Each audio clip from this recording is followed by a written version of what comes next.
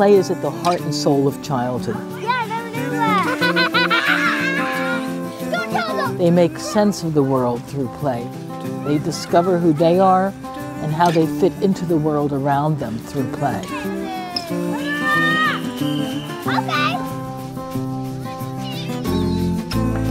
And if we deprive them of play, they don't get to know themselves well. They don't see how they fit into the world. They don't understand the world because they're not experimenting and discovering and exercising curiosity and creativity.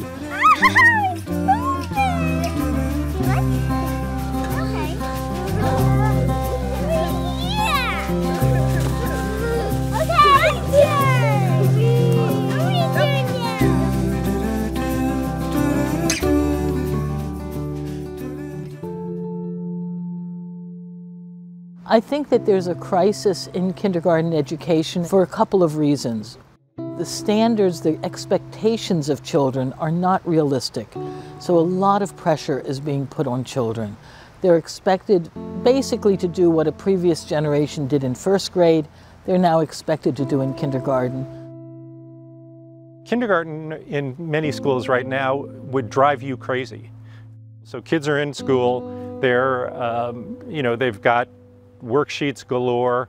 They're sitting at desks uh, working on their letter recognition, doing early writing, doing math book kinds of stuff. Kids are confined. And we take away everything that is experiential and hands-on, three-dimensional, multisensory, all the ways children learn in an integrated way where the body and the feelings and the mind are all working together, stimulating the brain that's gone. It's just very much here.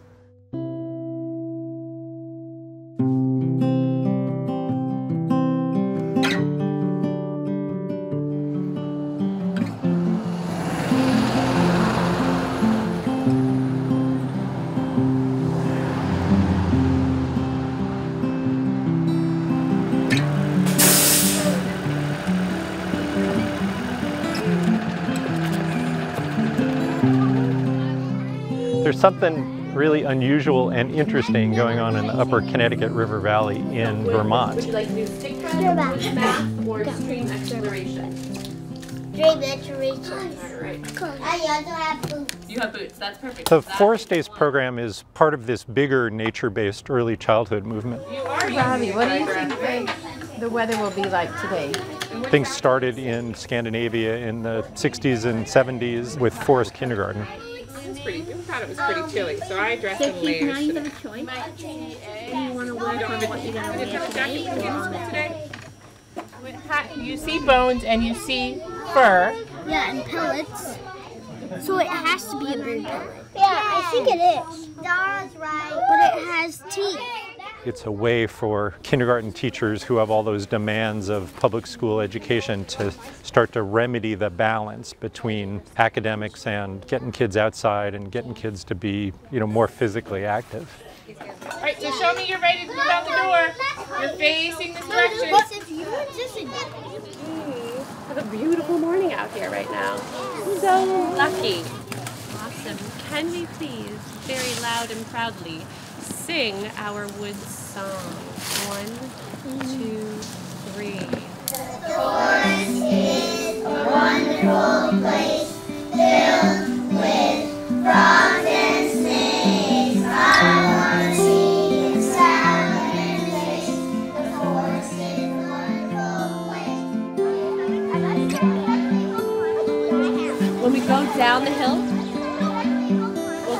we'll go to bench circle. 21, 22, 23, 24. Drop our bags and go right to sit spots.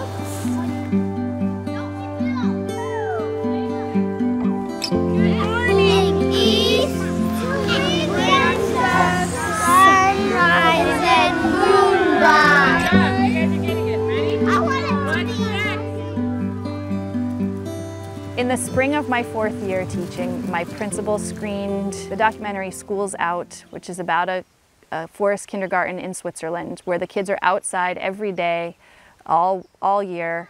And it was really inspirational to me to see these joyful, independent five-year-olds, the same age as the kids I had in my classroom. As the, you know, as the lights come up in the library, as the movie's over, I say, I would do that in a heartbeat. We started slow and started doing this one day a week program. So now there are dozens of classrooms following the, a similar model, what fits for their program, for their schedule, for their school.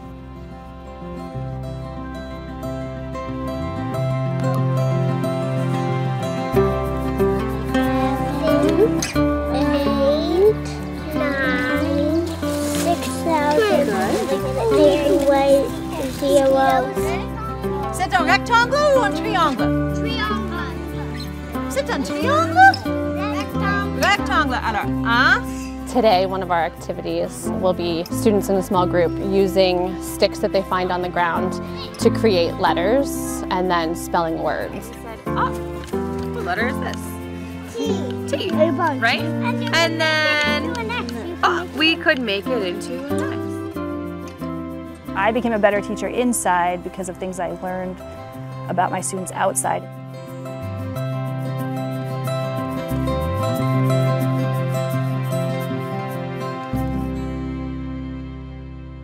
One of the benefits for kids is this greater physical development. Kids that are sluggish and can't walk to the other end of the playground by the end of the year, they can walk for a mile on a regular outdoor classroom outing. We're looking into this idea that kids being outside, having to measure their own risk, having to figure out whether it's safe to walk across this log or not, that helps them develop this capacity to regulate their own impulses and develop executive function.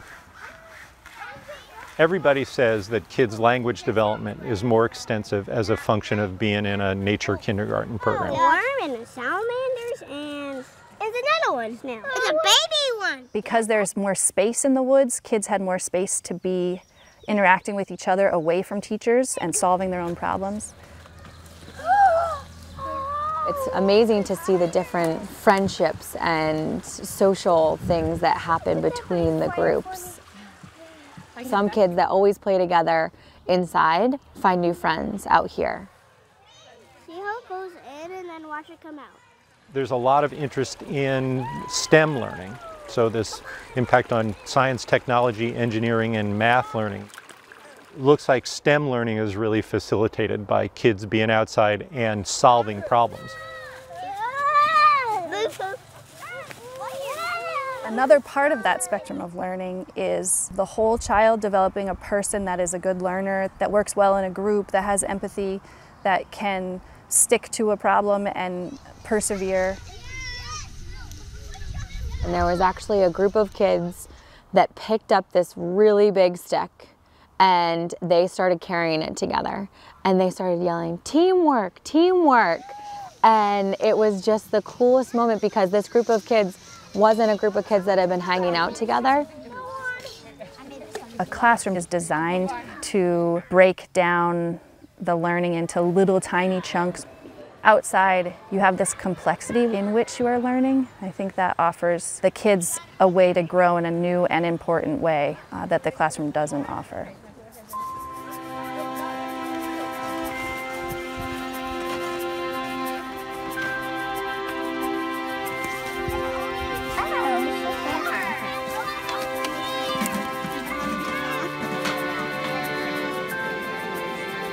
People ask me all the time, but what will the parents say?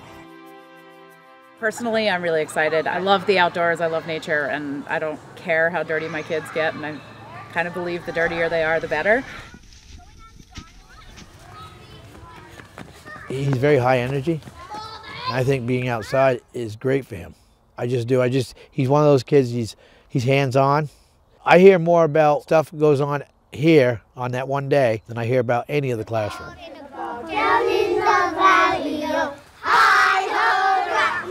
I can't wait to see the differences in the way that this class acts, you know, five years from now when they're heading into middle school compared to the classes that didn't get this experience. I don't like my class. The other day I was asking her actually, what do you like about Forest Friday, Parker? And she said, the food.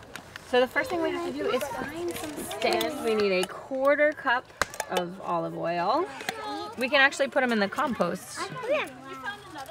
Okay. So I find she's more excited on Fridays because she knows she's going to get to spend the day outside.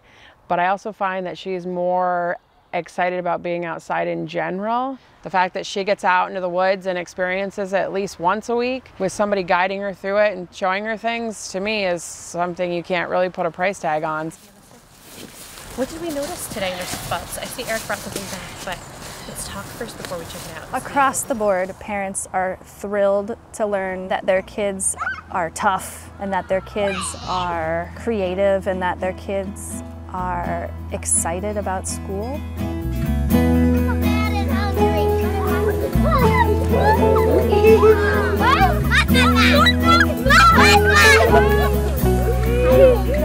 Tastes like apple blossom.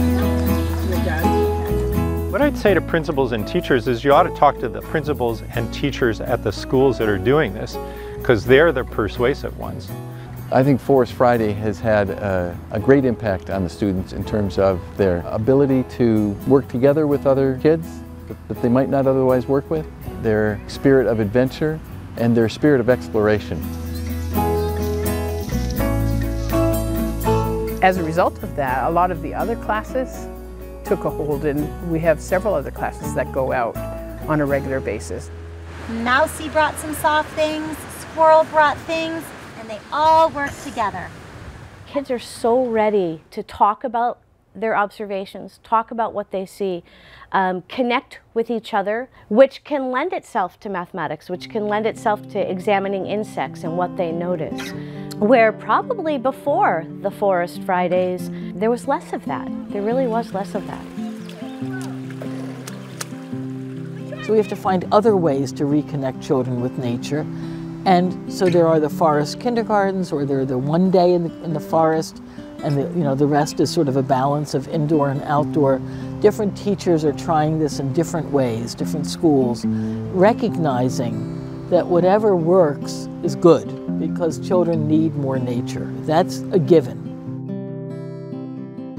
You know, now maybe two dozen classrooms throughout Vermont are doing forest days, and it's all happened uh, kind of under the radar and as a grassroots movement without a state mandate or uh, any kind of uh, government support. It's just teachers and principals realizing that this is really healthy for kids.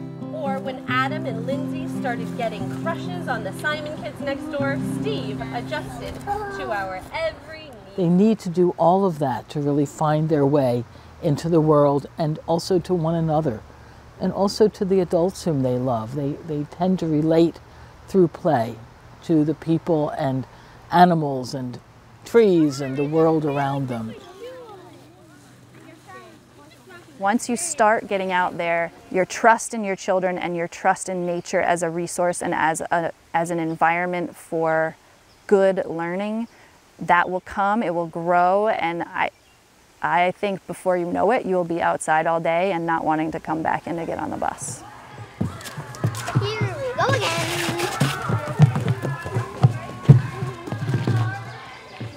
Relax a little bit with it and you'll love it. You'll never go back.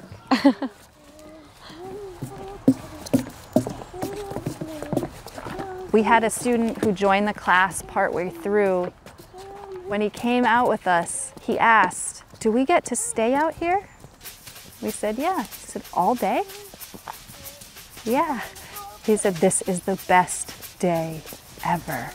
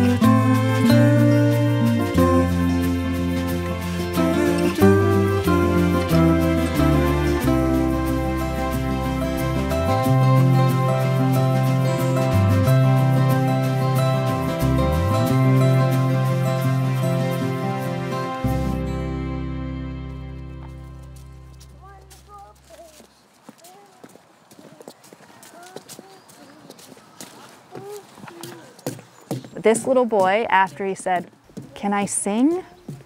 And we said, Yeah. And so he walked through the woods singing. He was so full of joy at discovering himself in the outdoors during a school day that he needed to sing. So he did, because he could.